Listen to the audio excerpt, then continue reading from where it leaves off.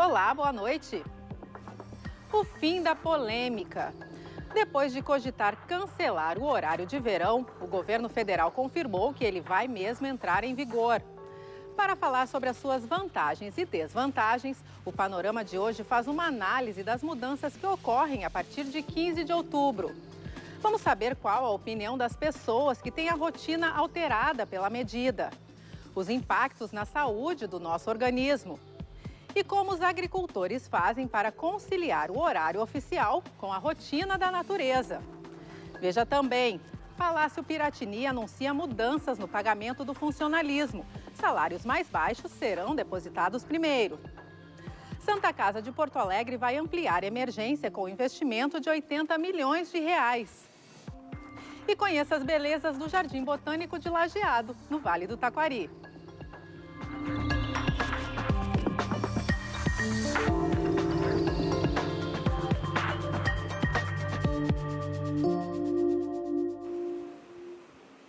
O Palácio Piratini anunciou mudanças no pagamento do funcionalismo estadual. Diante da crise e da falta de recursos para quitar integralmente a folha, quem ganha menos vai receber primeiro, sem parcelamento. A decisão atende ao princípio constitucional de proteção aos menores salários. A nova fórmula foi anunciada pela manhã e já vale para a próxima folha. Segundo o secretário da Fazenda, quando o parcelamento iniciou, era possível pagar valores maiores. Mas com o agravamento da crise, as primeiras parcelas foram diminuindo. No mês passado, o valor chegou a apenas 350 reais. Por isso, o parcelamento vai ser substituído por uma escala em que os menores salários recebem integralmente primeiro. Vamos pegar o montante de recursos que temos à disposição no último dia útil do mês e aí verificar quantos de milhares de servidores nós vamos poder pagar aqueles que ganham menos. E depois, quando nós tivermos o segundo montante, nós vamos pagar aqueles que ganham acima daqueles que menos ganham.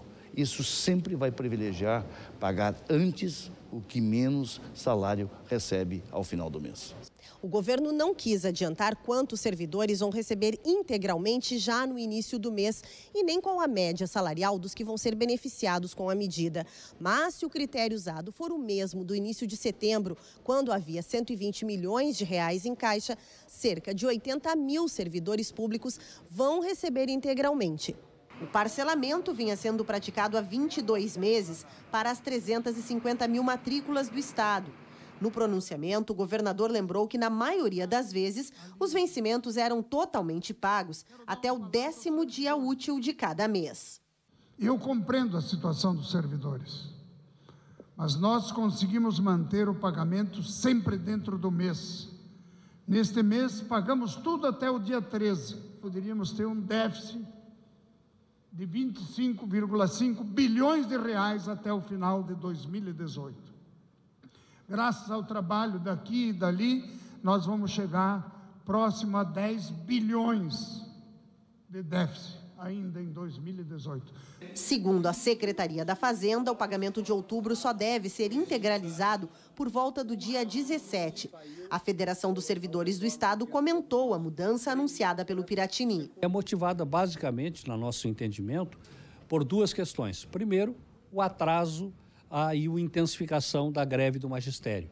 E, segundo lugar, pela iminência da aplicação da medida liminar que libera os servidores e impede o Estado de exigir e fazer corte de ponto daqueles que não tiveram seus salários pagos e não puderem comparecer ao trabalho. A mudança foi possível porque a Procuradoria-Geral do Estado passou a se basear no princípio previsto na Constituição de proteção aos menores salários e não mais no princípio da igualdade, como vinha sendo aplicado.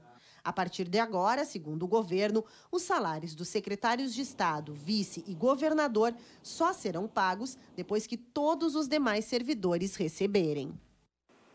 Uns gostam, outros odeiam e há ainda aqueles que são indiferentes. Todos os anos, nessa época, com a proximidade do horário de verão, as discussões ressurgem. Nos últimos dias, o governo federal chegou a repensar a mudança no relógio, mas agora já está definido. A partir de 15 de outubro, teremos horário de verão. Adiantar o relógio em uma hora. A cada mês de outubro, Esse é um hábito em 10 estados e no Distrito Federal. Eu vou para casa mais cedo, né? Posso aproveitar mais tempo na rua, menos perigoso também. Muito cansativo e a gente perde muito tempo e, e gasta muito mais ainda. É muito bom, tá? Para economizar até a luz, né? O horário de verão se tornou anual em 1985. No Rio Grande do Sul, a mudança traz economia de 5%, cerca de 2.600 quilowatts o que representa o consumo de uma cidade com 40 mil habitantes.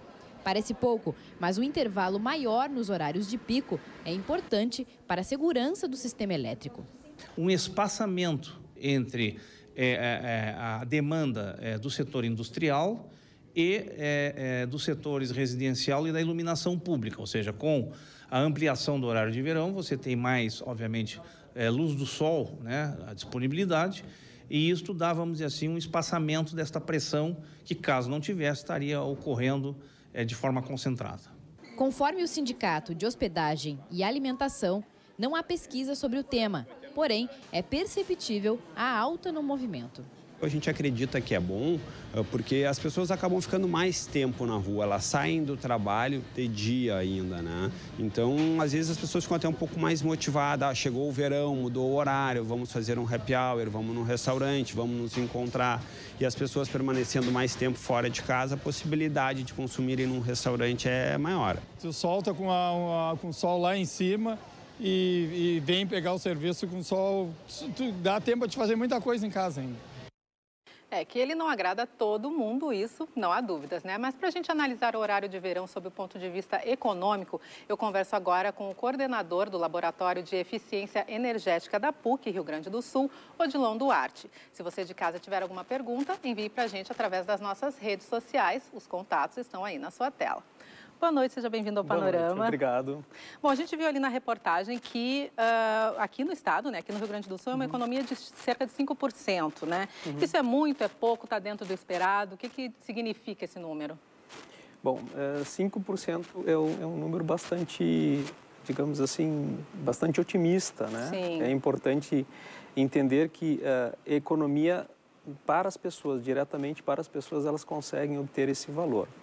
Agora, nós temos um outro uh, dado que é muito maior, né, que é quanto nós deixamos de pagar né, pela geração, é, muitas vezes térmica, né, a gás natural ou a óleo combustível, para alimentar esse horário de ponta. Ou seja, quando nós não temos o horário de verão, as pessoas elas terminam não diluindo o seu consumo, existe uma concentração.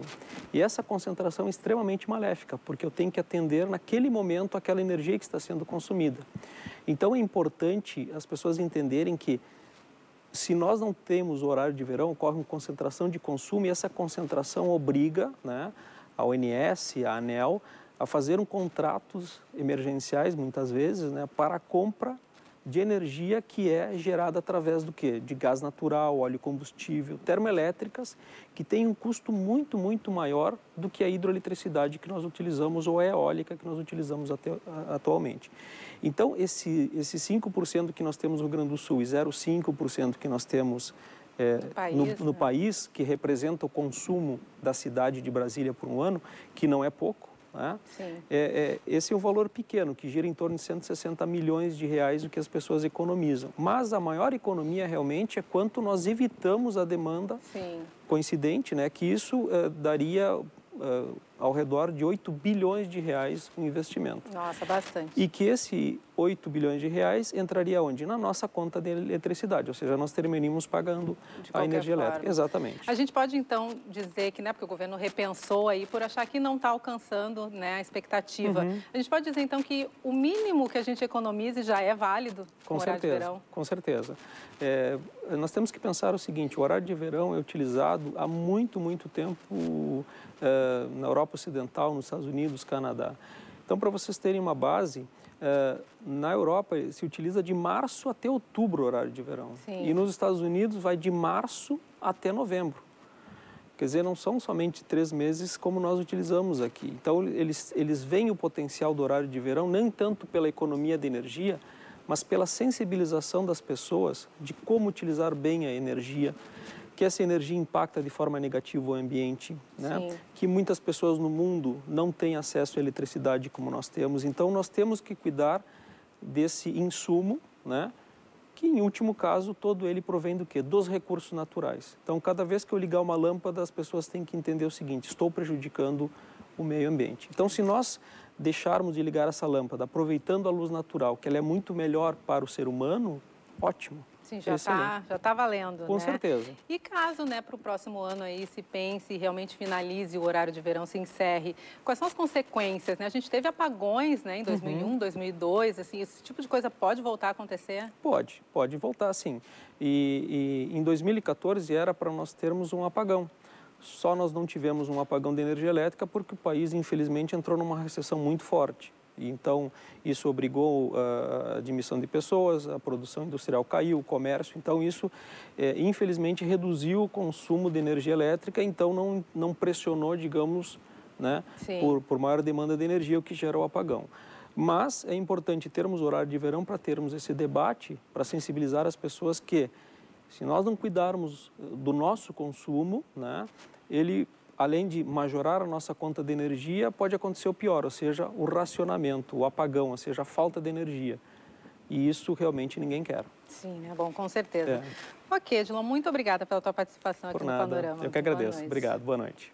No próximo bloco, a gente vai ver os efeitos do horário de verão no nosso organismo. Você de casa, como é que se sente? Se quiser dividir com a gente, mande uma mensagem para as nossas redes sociais. E a gente continua falando sobre o horário de verão. Agora a gente vai conversar com a repórter Dalva Bavaresco, que está na Rótula das Cuias, aqui na capital, e vai conversar com o pessoal por lá. Boa noite, Dalva. Boa noite, Fernanda. Boa noite a todos. Eu estou aqui próximo à Rótula das Cuias, como vocês podem ver, na Orla do Guaíba, onde nesse horário muita gente aproveita o fim do dia para fazer a sua atividade física. E a gente aproveita para repercutir um pouquinho dessa polêmica sobre o horário de verão, vantagens e desvantagens. A gente viu aí que o governo chegou a cogitar não fazer horário de verão esse ano e pensou em fazer uma pesquisa de opinião. A gente vai fazer uma pequena enquete refletindo um pouquinho das opiniões contrárias e favoráveis ao horário de verão. Estamos aqui com a Caroline. Caroline, você é a favor ou contra o horário de verão e por quê? Boa noite. Boa noite, sou a favor do horário de verão. Porque a gente chega do trabalho, né? Já cansada, mas louca para praticar um esporte, né? E como escurece cedo, eu fico meio receosa de sair e com horário de verão, né, eu tenho tranquilidade para vir para cá e ficar até mais tarde, né, trazer criança, né. É, é até uma questão de segurança, Segurança, então. mais de segurança para mim. Eu gosto mais em função da segurança. Mas tem gente que não é não muito adepta desse horário. É o caso da Lourdes, que eu conversei antes. Lourdes, boa noite. Por que, que você não gosta muito do horário de verão? É por causa que quando a gente... O relógio biológico tá acostumando, terminou. É muito rápido, né? E, e tem, eu, por exemplo, demoro mais para me adaptar. Né? Sente muito um cansaço no início dessa mudança? Sinto. Fica difícil de acordar. Para você tá bom aqui esse horário. Se estiver escurecendo um pouquinho, não faz mal. Vem fazer exercício de boa na mesma. Isso aí. Tá certo. Muito obrigada, então, pelas opiniões.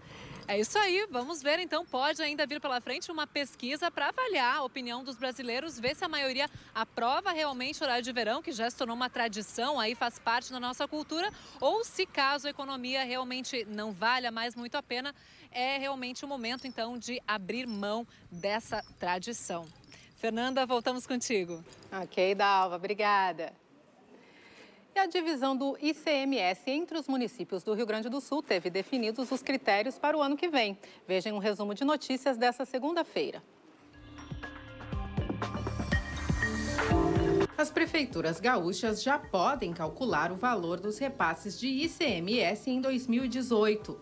O índice de participação dos municípios, apurado pela Receita Estadual, está disponível no site da Secretaria da Fazenda. O IPM determina os percentuais para rateio de 8 bilhões e 200 milhões de reais no próximo ano. O movimento LGBT organizou neste domingo um protesto no Parque da Redenção, em Porto Alegre, contra a sentença judicial que autorizou a chamada cura gay. Ela foi proferida como decisão liminar em Brasília. Os ativistas também se manifestaram contra o fechamento da mostra Queer Museu, no Santander Cultural. Aproximadamente mil pessoas de todo o país e do exterior degustaram neste fim de semana em Bento Gonçalves, na Serra, as 16 amostras mais representativas de vinhos brasileiros da safra 2017. Além do Rio Grande do Sul, estiveram representados Bahia, Minas Gerais, São Paulo, Paraná e Santa Catarina. Como a seleção foi feita a partir de 327 amostras, ela foi considerada a mais significativa dos últimos quatro anos. A Câmara dos Deputados adiou novamente, por falta de quórum, a leitura da denúncia da Procuradoria-Geral da República contra o presidente Michel Temer pelos crimes de obstrução de justiça e organização criminosa. Uma nova sessão foi marcada para esta terça-feira de manhã.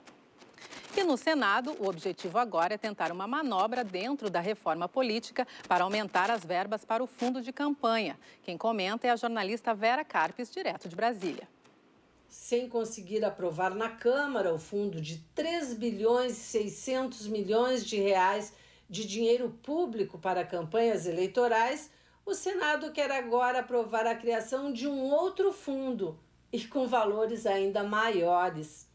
Uma das propostas, encabeçada pelo presidente do Senado, Eunício Oliveira, candidato ao governo do Ceará, prevê a utilização de emendas parlamentares para financiar as campanhas ou seja, o dinheiro destinado para obras regionais de infraestrutura nos estados e municípios e para gastos com saúde poderá ser parcialmente revertido para o fundo eleitoral, algo em torno de 2 bilhões e meio de reais. A outra proposta do senador Ronaldo Caiado é utilizar os recursos atualmente destinados a emissoras de rádio e TV para exibição da propaganda eleitoral e formar um novo fundo com valores estimados em um bilhão e meio de reais. As duas propostas somam 4 bilhões de reais, um valor superior ao rejeitado na Câmara. Com os antigos patrocinadores na cadeia, os parlamentares querem manter suas campanhas pagas com dinheiro do contribuinte. A matéria deve ser votada esta semana. E como a maioria dos senadores são candidatos ou apoiam candidatos, Fique muito atento, porque nesse ritmo de farinha pouca, meu pirão primeiro, eles não terão o menor constrangimento de retirar recursos até da saúde para bancar campanhas eleitorais. De Brasília, Vera Carpes para o Panorama. Depois do intervalo, entenda por que os agricultores não gostam do horário de verão.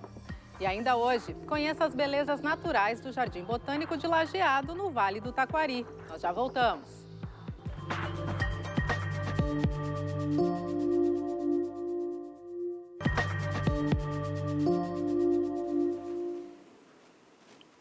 Investir hoje para colher mais amanhã. É pensando nisso que a cada ano a agricultura aposta mais na qualidade das sementes. A reportagem da UPF TV de Passo Fundo foi conhecer um pouco mais sobre as vantagens das chamadas cultivares premium. Um insumo que pode até ser mais caro na arrancada, mas que promete mais qualidade e produtividade na lavoura.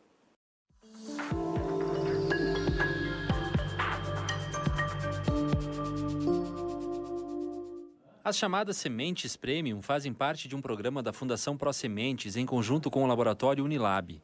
Aqui elas passam por testes mais rigorosos de vigor e germinação e só podem ir para o campo se atenderem aos requisitos estabelecidos. Esta metodologia ela traz a garantia de uma maior relação de uma, de uma semente vigorosa em laboratório com um resultado melhor a campo. E isso proporciona, portanto, ao setor sementeiro uma garantia de que a semente produzida no Rio Grande do Sul ela tem um diferencial e principalmente a esses produtores que optam por fazer este teste tem uma garantia de que suas sementes podem oferecer, então, uma comercialização uh, mais apropriada. Vai proporcionar uma, uma planta no campo de, com maior possibilidade de, de, de, suplantar as adversidades.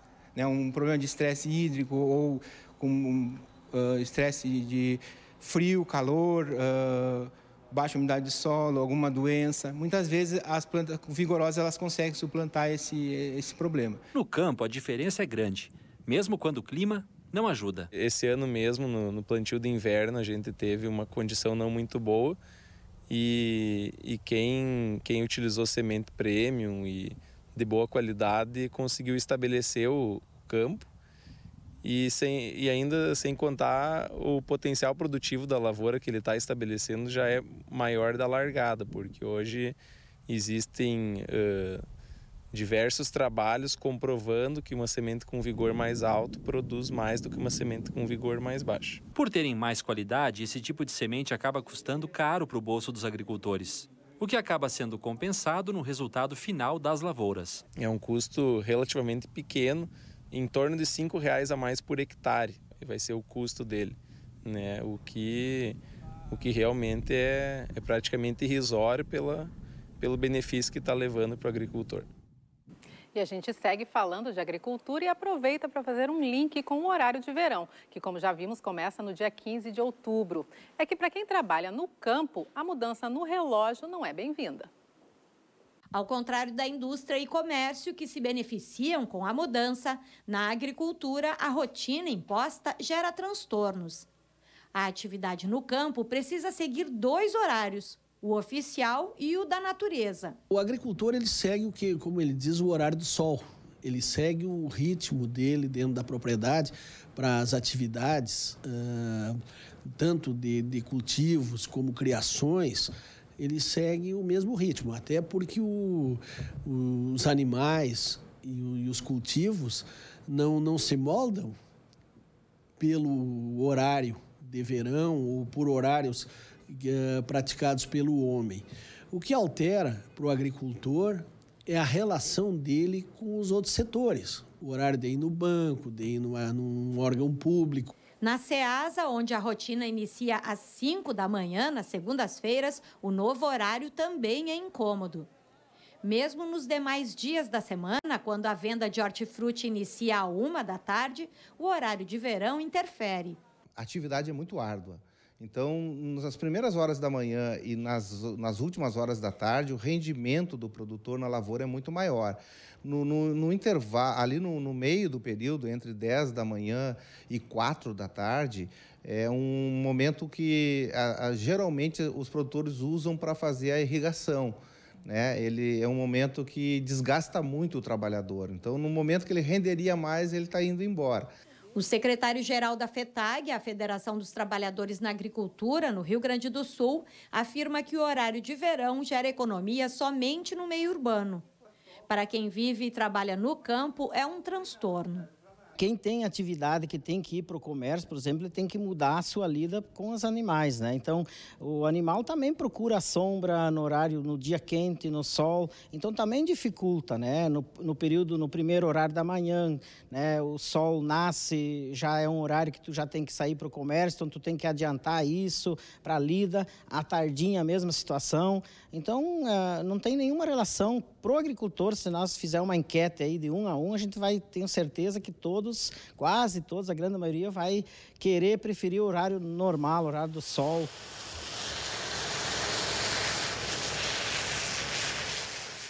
Pois é, e não são só os agricultores, né? Como nós já mostramos hoje, muita gente sente os efeitos das mudanças, inclusive fisicamente. Agora, para a gente conversar sobre os efeitos do horário de verão no nosso organismo, eu converso com a pesquisadora, psicóloga e pesquisadora do Laboratório de Cronobiologia e Sono do Hospital de Clínicas de Porto Alegre, Alicia Carissimi, e com o doutorando em psiquiatria, André Comiran.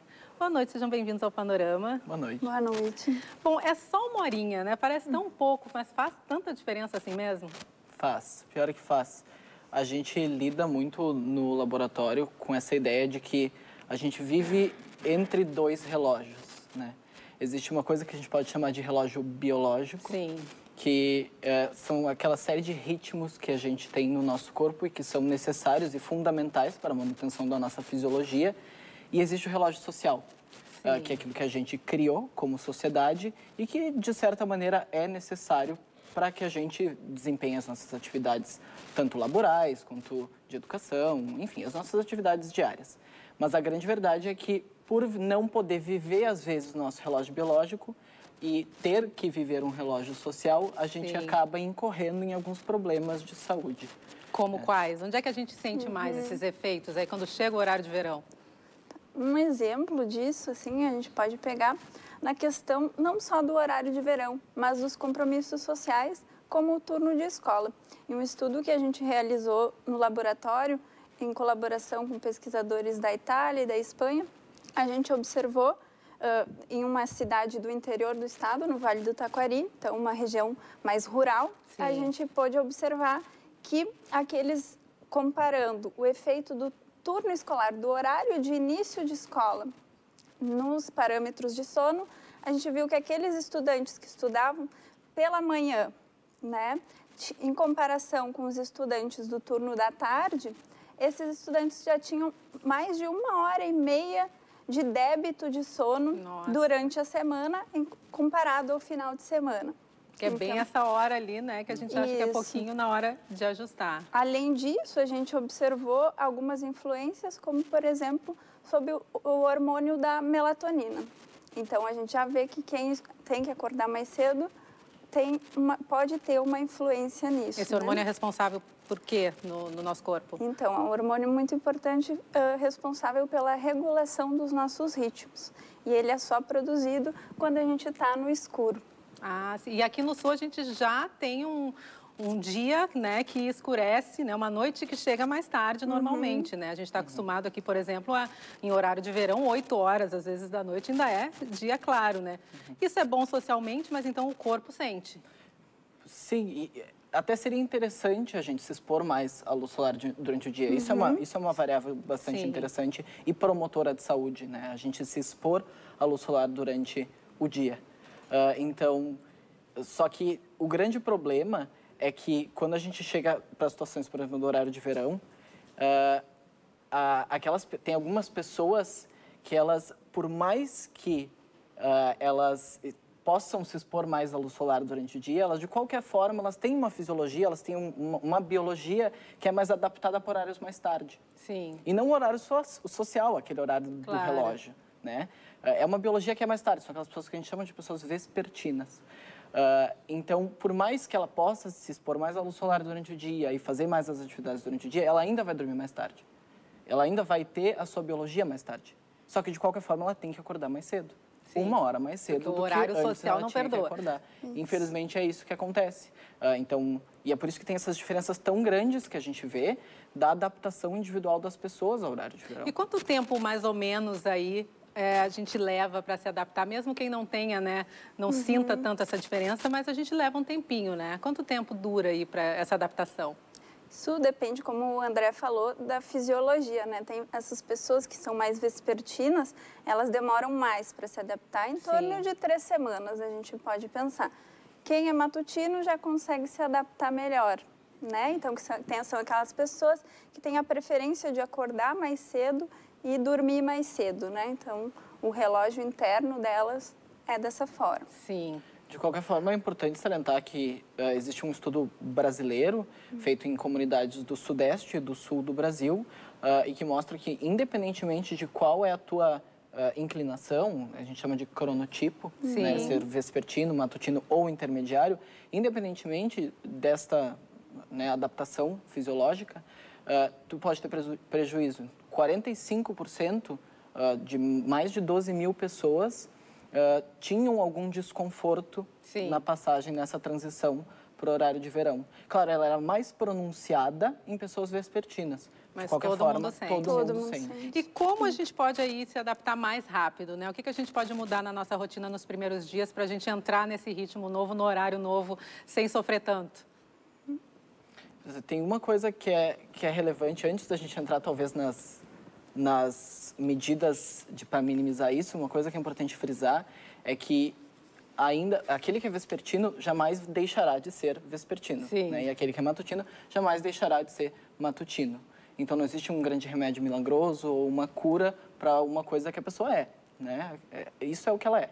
Uh, então, claro, a gente pode tem algumas estratégias que podem minimizar o sofrimento dessa pessoa, mas de qualquer forma o sofrimento ele vai acabar vai existindo. Uhum. Né? Ok, então André, Alicia, muito obrigada pela presença de vocês aqui no Panorama. Obrigada. Obrigado. E a Câmara de Vereadores de Porto Alegre começou hoje a discussão do projeto de lei do Executivo que altera a legislação do IPTU da capital. Durante a tarde, vereadores se revezavam na, na, tribuna defendendo ou criticando a proposta do Executivo. O debate vai prosseguir na quarta-feira, quando o projeto poderá ser votado em plenário. Confira na reportagem o que pode mudar. A proposta prevê a correção do valor estimado dos imóveis para o cálculo do imposto.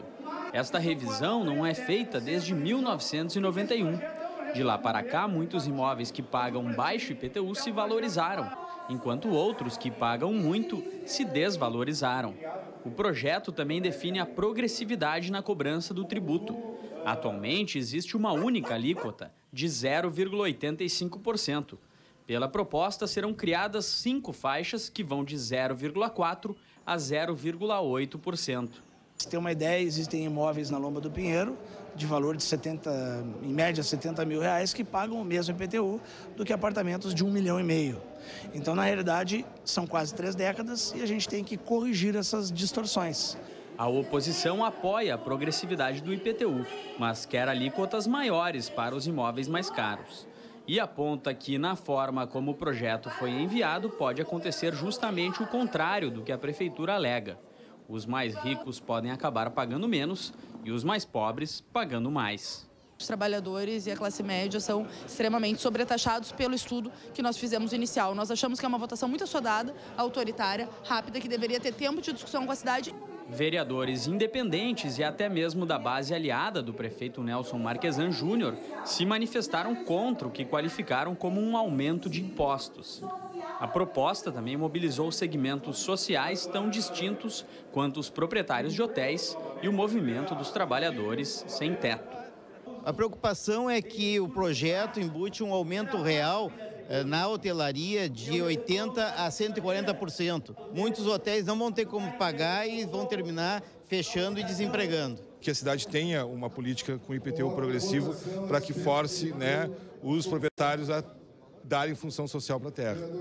Para este arquiteto, a correção da planta de valores do IPTU deveria ser feita anualmente. Faz muito tempo já que, que não se tem essa atualização, então, claro, isso gera uma crise no momento nesse momento. Né? A, a, prefeitura tem duas fontes principais de arrecadação, né, que é o ISSQN e o, e o IPTU. O ISSQN sobre as atividades e o IPTU sobre a propriedade. E é esse recurso que financia todas as atividades do município. Então, a gente exigir do município uma série de serviços de qualidade tem a contrapartida da cobrança de impostos. Mesmo assim, o urbanista ressalta que a prefeitura deveria discutir mais a proposta com a sociedade. E uma quadrilha especializada no roubo de carros em Porto Alegre foi o alvo de uma grande operação da Polícia Civil nesta segunda-feira. Confira os detalhes em mais um resumo de notícias do dia. 120 policiais civis participaram de uma ação de combate ao roubo de veículos na capital. Foram cumpridas 31 ordens judiciais entre mandados de busca e apreensão e de prisão. 14 pessoas foram detidas. Os agentes também apreenderam armas, munições, drogas e veículos dos suspeitos. A Justiça decretou hoje a prisão preventiva do homem de 62 anos preso em flagrante após abusar de uma menina de 5 anos num supermercado da zona norte da capital. O pedófilo está no presídio central. Assembleia Legislativa e a Federação anunciaram nesta segunda-feira os vencedores da 23ª edição do Prêmio Líderes e Vencedores. Os prêmios serão entregues no dia 3 de outubro no Teatro Dante Baroni do Parlamento Gaúcho. Depois do intervalo, veja a previsão do tempo para amanhã no estado. E as belezas naturais do Jardim Botânico de Lajeado, no Vale do Taquari. É daqui a pouco.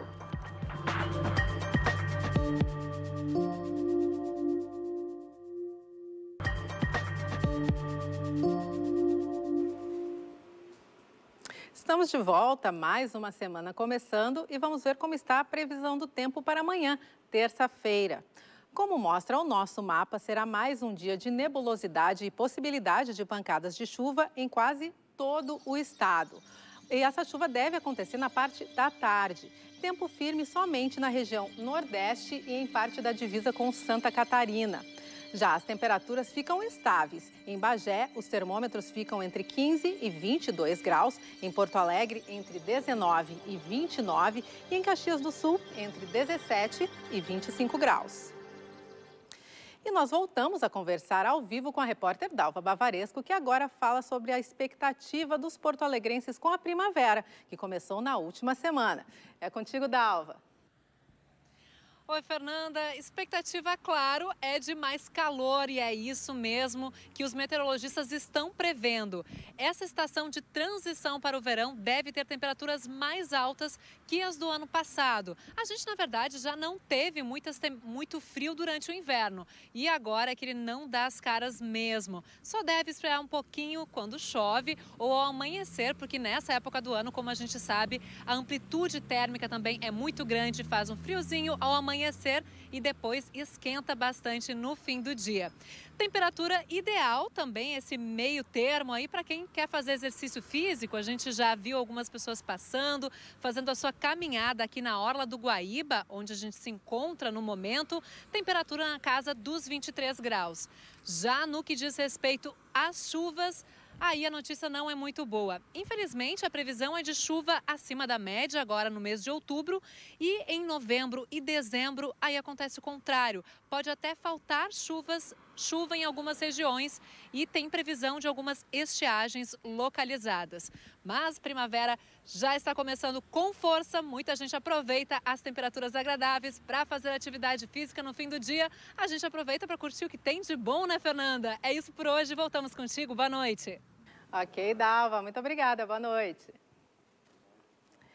Médicos e hospitais gaúchos foram homenageados hoje pela contribuição para o desenvolvimento dos transplantes de órgãos no estado. A cerimônia no Palácio Piratini comemorou o Dia Nacional da Doação de Órgãos, que acontece em 27 de setembro. O objetivo é incentivar o ato de solidariedade individual que pode salvar muitas vidas. Conforme a Central de Regulação, 211 transplantes foram registrados este ano no Rio Grande do Sul, que é o terceiro estado com o maior número de doadores de órgãos no país. E atenção, o Centro Obstétrico e a Unidade de Internação Neonatal do Hospital de Clínicas de Porto Alegre ficarão fechados em outubro. A medida acontece para a limpeza dos dutos do ar-condicionado. Por isso, a instituição solicita às gestantes que, neste período, procurem outras maternidades da capital. E uma boa notícia ainda na área da saúde deve aliviar um dilema antigo da Santa Casa de Porto Alegre, a superlotação na emergência. É que foi anunciada hoje a construção de um novo prédio para ampliar a capacidade da emergência do SUS na instituição. A previsão é de que as obras já comecem no próximo ano são duas frentes de investimento. A primeira prevê a reforma e a modernização do Complexo Hospitalar Santa Casa, com 150 milhões de reais que a instituição vai receber da União através da Bancada Federal Gaúcha. Este recurso ele virá para a reforma não só de áreas do Santa Clara, mas muito prevalentemente nas áreas do Santa Clara, que é o hospital mais antigo do complexo, mas também para todas as áreas de SUS todo o complexo, todas as unidades dos sete hospitais do complexo que atendem pacientes do SUS serão beneficiadas com a reforma uh, de, de área física, vindos desses 150 milhões. Outros 80 milhões de reais que serão arrecadados com doações e empréstimos vão ser destinados à construção de um prédio que vai abrigar a nova emergência do SUS. Com ele, o número de leitos de observação vai saltar de 12 para 30 e ainda vão ser criados 140 novos leitos de internação. O Hospital Santa Clara não conseguiria fazer a sua reforma na integralidade se ele não tivesse uma, um, um prédio anexo a ele que pudesse dar condições de fazer a adequação das suas estruturas atuais, como, por exemplo, uma nova emergência, uma nova unidade de internação obstétrica, uma nova diálise com, com 72 máquinas de hemodiálise para pacientes. A gente está ampliando esse, esse, esse atendimento. É, unidades de internação e um grande ambulatório. A meta também é transformar o Santa Clara em um hospital amigo do idoso. A população brasileira, ah, daqui 10, 20 anos, 30% dela vai ser idosa. E esta população é que mais necessita internação hospitalar. Então, há necessidade de um hospital que dê atenção ao idoso, mas não só uma atenção de um atendimento, de um consultório do idoso, mas todo o hospital voltado ao atendimento desse idoso, desde prever uh, espaço para acompanhante do idoso, a mobilidade do idoso. O novo prédio deve ter quase 28 mil metros quadrados e vai ser construído nesse espaço que fica entre a Praça Argentina e o local que hoje abriga a emergência. A previsão é de que as obras comecem no segundo semestre do ano que vem e devem durar cerca de cinco anos até serem concluídas. E enquanto a Santa Casa aumenta a capacidade de atendimento, tem hospital correndo o risco de fechar. É o caso do Hospital São Gabriel Arcanjo de Cruzeiro do Sul. Com um déficit mensal de cerca de 30 mil reais, a instituição acumula dívidas que comprometem os serviços básicos. O Ministério Público foi acionado e informa que para manter o local em funcionamento é preciso de mais verbas. Veja na reportagem da TV Univates de Lajeado. O Hospital São Gabriel Arcanjo sobrevive hoje com dinheiro do município, verba federal e consultas particulares. Segundo o presidente da entidade, são necessários cerca de 145 mil reais por mês para manter o hospital. Hoje, o déficit mensal é de cerca de 30 mil reais. E aí a gente tem via federal e particular 40 mil. Deveríamos estar recebendo 105 mil da prefeitura, de outros órgãos, para uh, suprir as necessidades. A gente apresentou várias propostas. Uma proposta de aumento aumentar esses valores. O município alega que não tem, que a situação financeira está difícil. Outra proposta seria fechamento do hospital que seria ruim para a população. E veio uma terceira via que a gente propôs, que a gente passa uma procuração para um administrador, que a administração vai, vai indicar, passa uma procuração para ele ter poderes e a administração, então, se achar que eh, tem como reduzir custo, coisa assim. Inclusive, a administração propôs fazer uma, uma auditoria. São 76 anos do São Gabriel Arcanjo na cidade, entidade fundamental que ajuda a manter a saúde dos cerca de 12 mil habitantes. Então, o hospital, por exemplo, que, que supra as necessidades das pessoas quando estão no fim da vida. E aí, se nós tiver que levar essas pessoas, nosso município, para outro, outros hospitais que hoje já estão saturados, que, que nem no Brasil inteiro, isso vai ficar ruim. Outras medidas devem ser tomadas nos próximos dias pela diretoria do hospital. Então, a gente está pensando abrir umas conta, a conta poupança em alguns bancos e vamos divulgar isso publicamente e que cada cidadão possa contribuir espontaneamente o valor que quiser para nós poder fazer algumas reformas, alguma coisa que é mais urgente no, no hospital. Pesquisas já confirmaram que a natureza realmente pode ter um grande impacto sobre o bem-estar físico e emocional das pessoas. Você já pensou em reservar um dia ou um final de semana para esquecer da rotina agitada e curtir com a família em um espaço ecológico?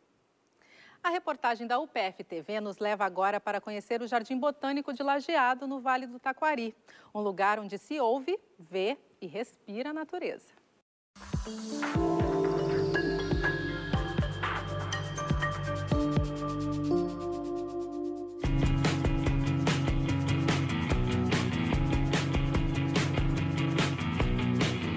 Um lugar para quem quer se desligar do mundo.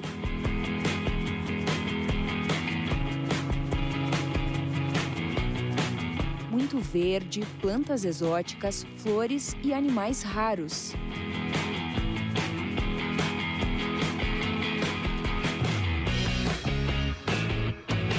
A gente até poderia estar falando de um lugar de difícil acesso em meio aos confins do estado, mas não, esse cantinho fica pertinho da área urbana do município de Lajeado, na região central do Rio Grande do Sul.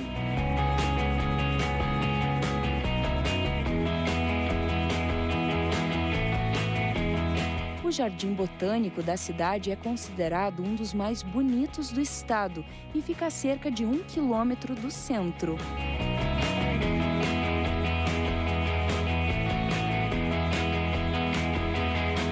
A primeira coisa, quando a pessoa entra, ela vai olhar para os lados, elas, elas vão ver algumas árvores, e essas árvores, então, são das nossas coleções botânicas. Né? Então, o que, que é isso? São árvores que a gente tem todas identificadas, o nome, e a gente acompanha. Então, a data de, florescimento delas, a época em que elas frutificam, né? Então, a gente usa, inclusive, elas para coletar semente para a produção de mudas do horto florestal.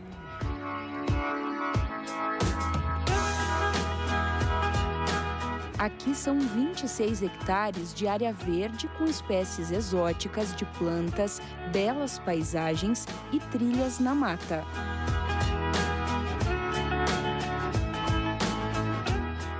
Por falar em trilhas, essa turminha da Escola Municipal Carlos Gomes, da cidade Marques de Souza, vizinha de Lajeado, está animada para conhecer e respirar o ar puro da trilha, que tem 500 espécies de árvores já catalogadas. E você, bora se aventurar também?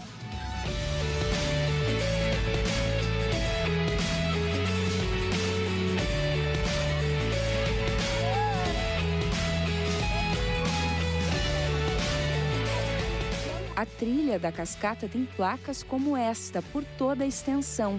Assim, os visitantes sabem qual espécie estão tendo contato.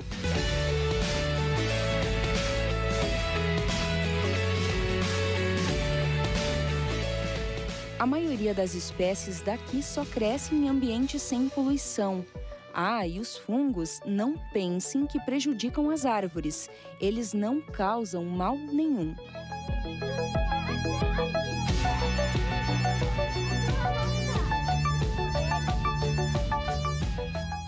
A melhor parte da visita guiada fica por conta dessa cascata. O barulho da água se mistura com o som dos pássaros. Aí não tem como ficar sem apreciar essa beleza natural.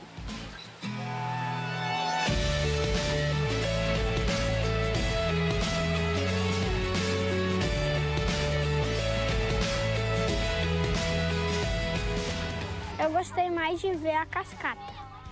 Eu gostei mais de ver as pegadas do tatu, hum, a cascata e as, todas as árvores. O esquilo e também gostei mais de ver as pegadas do tatu.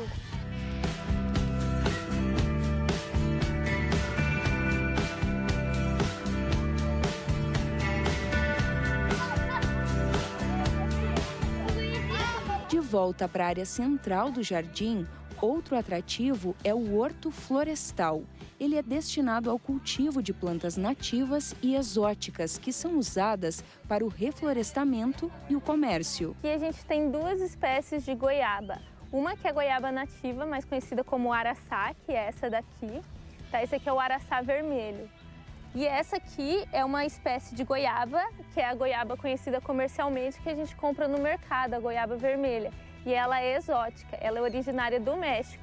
Outro caminho todo especial é esse orquidário. São quase 40 espécies de orquídeas, além de 10 tipos de cactos e 10 de bromélias. As orquídeas foram recuperadas de outros lugares e agora voltam a florir. Essa é uma maxilária. As orquídeas, elas ficam a grande maioria fica em troncos de árvores. Né? E muita gente olhando isso acha que ela está tirando o nutriente da árvore por estar tá ali grudada. Mas na verdade não, ela só usa os troncos para se fixar, para ficar numa posição de que tem umidade adequada e iluminação adequada para ela.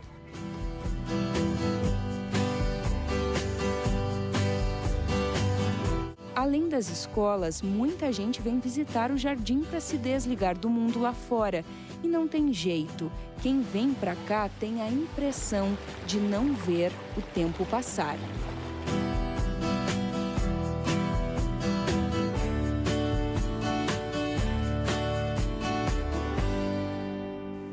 E na sequência você fica com o TVE Esportes. Nós voltamos amanhã às 7h15. Uma ótima noite para você e até lá.